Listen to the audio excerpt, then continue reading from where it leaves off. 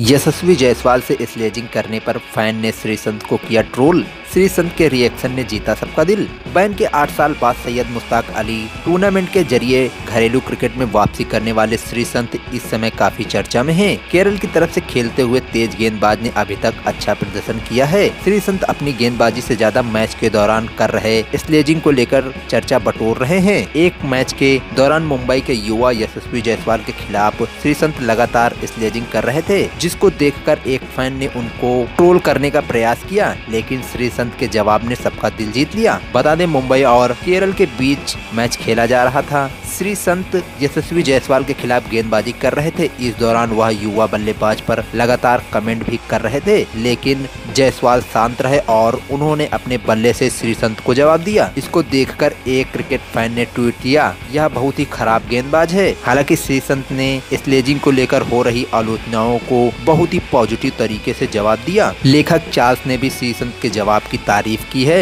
उन्होंने ट्वीट करते हुए लिखा, मैंने अभी श्रीशांत से सीखा है की कि आलोचनाओं को किस तरह से लेना चाहिए, उनके लिए मेरे दिल में सम्मान और बढ़ गया है। बता दे, लंबे समय बाद क्रिकेट मैदान पर वापसी कर रहे श्रीसंत अपने पुराने तेवर में नज़र आ रहे हैं। 2007 और 2011 विश्व विजेता भारतीय टीम का हिस्सा थे, लेकिन मैच फिक्सिंग के आरोप के कारण उन्हें आठ साल क्रिकेट से दूर रहना पड़ा। सुप्रीम कोर्ट में केस जीतने के बाद उनकी फिर से क्रिकेट में वापसी हो पाई। दोस्तों, फ़िलहाल के लिए इस वीडियो में बस इतना ही। ज़्यादा जानकारी और क्रिकेट के अन्य तमाम खबरों के लिए चैनल को सब्सक्राइब करें। अगर आपको हमारा ये वीडियो पसंद आया तो इसे लाइक और शेयर ज़रूर करें। धन्यवाद।